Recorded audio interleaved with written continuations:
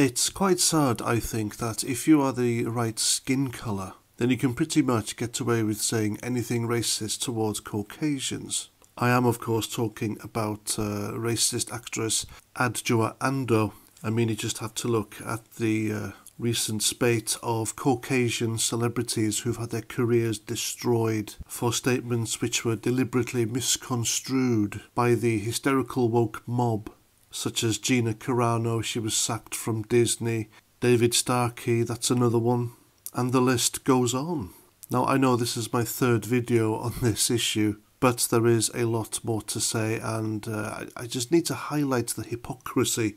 It needs to be put out there. Now, this racist actress, Adjoa Andoh, she was invited onto Radio 4 here in the UK and a show hosted by Paddy O'Connell. And she was asked, what did she mean by terribly white balcony? And she replied with, well, I didn't mean to upset anyone, and that's it. Now, I told you guys in my previous video regarding this that even though Ofcom are investigating, they won't do anything. And ITV, the programme which hosted the uh, coronation commentary which she appeared on, they haven't put a statement out. And we all know why that is. It's because she holds a very, very privileged status in our society. So, anyway, when she tells Paddy O'Connell that she didn't mean to upset anyone, he replies by saying, Oh, don't worry about it, you didn't upset anyone. Well, here's the thing, Paddy, she did upset people. She upset people like me. People like me who are fed up with being demonised simply because of our race colour.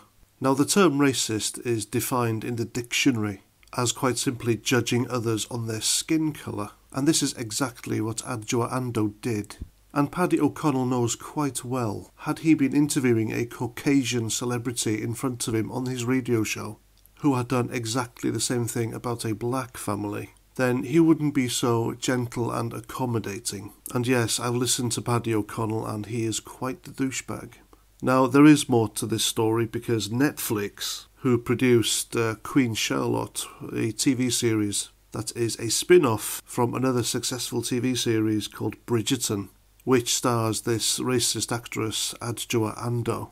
Well, yesterday they posted this on their Twitter page and it says, to celebrate the release of Queen Charlotte, a Bridgerton story, Netflix, Shondaland, and Alicia Keys created a 74 piece global orchestra made up entirely of, and get this, ironically, women of colour to perform a rendition of If I Ain't Got You on the 20th anniversary of the song.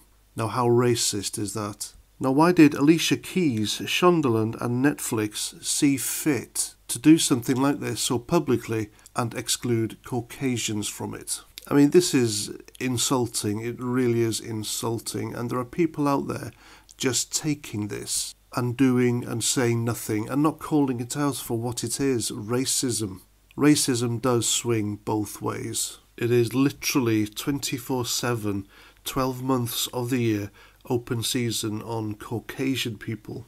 And it continues thanks to cucks like Paddy O'Connell on BBC Radio 4. And also, I want to point out not a word by race baiters such as Dr. Shola Moss, Narinder Kaur, and Yasmin Alibhai-Brown about this deliberate targeting of a race of people simply because of their skin colour. And uh, oh, yeah, defund the BBC while we're at it. And there we go, that's my video. Hope you like it. Please give your opinions in the comments below. And until the next time, have a great day, look after yourselves, and Roger Trout.